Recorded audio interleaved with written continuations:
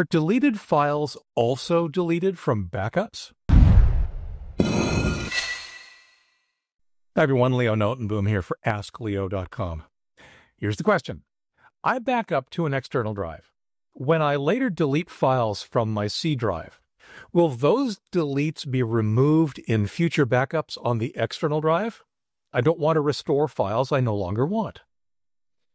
Well, it depends, of course, on the specifics of exactly how it is you're backing up.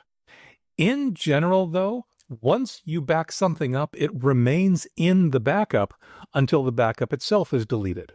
That can be important, as we'll see in a minute. If you delete a file from your hard drive, though, the file will not be present in future backups. One thing that backups protect you from is an accidental delete. What if you didn't mean to delete that file from your hard disk? Don't laugh, it happens all the time. I'd say that backups are probably used to recover accidentally deleted files more than any other purpose. But even if you intentionally delete the file today, you might change your mind in a day, a week, a month, or even a year from now. My backups have absolutely saved me from both scenarios accidental deletions and changing my mind more times than I can count. You said you wouldn't want the deleted file to be restored. Exactly how you go about that depends on the specifics, again, of your backup approach. For example, if you're taking regular daily image backups, then you need to restore to a backup image taken after you deleted the file.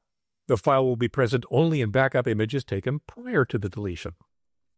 If you don't have such an image, avoiding that file could be as simple as, well, I guess deleting it again if it shows up after a restore.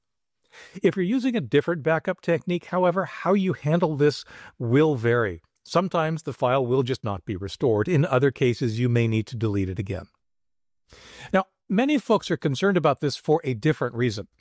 They want a deleted file to be deleted everywhere so that others, perhaps law enforcement, can't recover it. And indeed, one place from which files are often recovered is old backups. The only way to make sure it doesn't happen is to delete the old backups that might contain the file. If you can.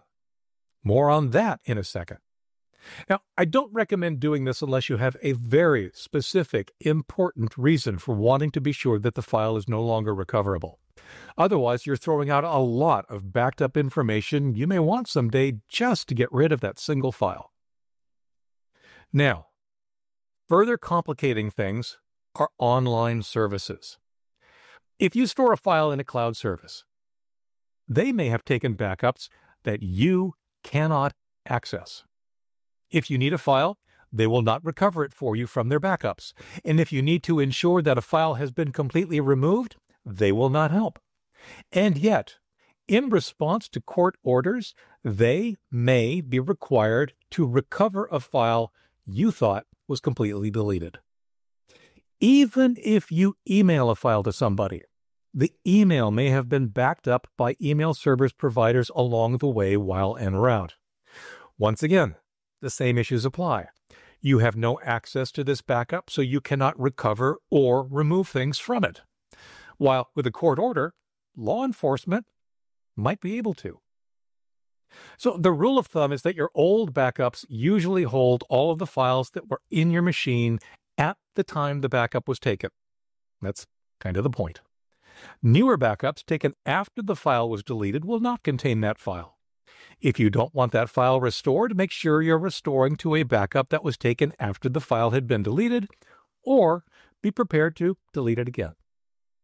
For updates, for comments, for links related to this topic and more, visit askleo.com slash 6404.